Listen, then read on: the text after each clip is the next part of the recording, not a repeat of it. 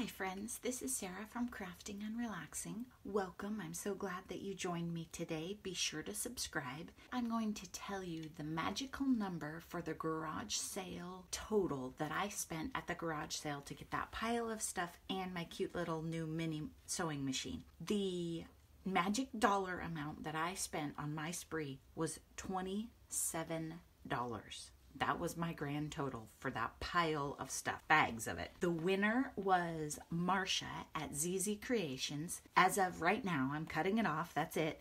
And she guessed $26. The funny thing is, nobody actually guessed the number. They were super close, but she was the closest. And Marsha, if you haven't checked out her channel, be sure and check it out. She's ZZ Creations, and I'll put a link down below. She does art journaling stuff and altered projects and kind of vintage shabby chic. And if you guys have been watching my channel for a while, you know that I get into a lot of different areas. So when I do a giveaway, I try and think about what different people want. And it's funny because I've been thinking I needed to do another flow journal. Marsha, will you take a look here and then message me on Instagram? I'm at Craftin Relaxin, no G's, or email me at craftingandrelaxing at gmail.com. In my Gmail, it's all spelled out. And tell me what you'd like. I was kind of thinking for you, it would be fun if I did like a little flow journal and maybe some paint skins and some buttons and brads that you could use on journals. I saw some videos where you've used a lot of different cute things. But I don't know. I also have some Tim Holtz stuff.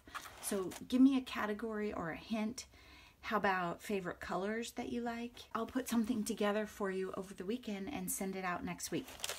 So I thought that would be fun.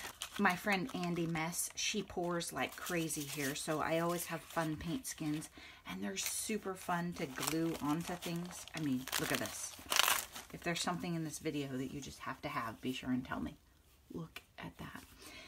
Okay, Artsy Ashley, I will be doing some more templates for cards. Those of you who didn't love the card videos, you might want to skip that. I'll make that a series. Those are for viewers who asked for starter cards. They're learning to make cards and they want help. So if you want to skip those and maybe we'll break that off as a series, that's fine just don't give me a thumbs down. Just don't watch the video. I'll have some more of those coming over the weekend. I've been thinking about cards that I've made. When I see them on people's desks or walls at work, I'm like, oh, that's a good one. We should do that one.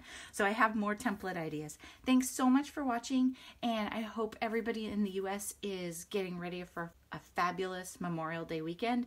I am planning to craft all weekend. Bye bye.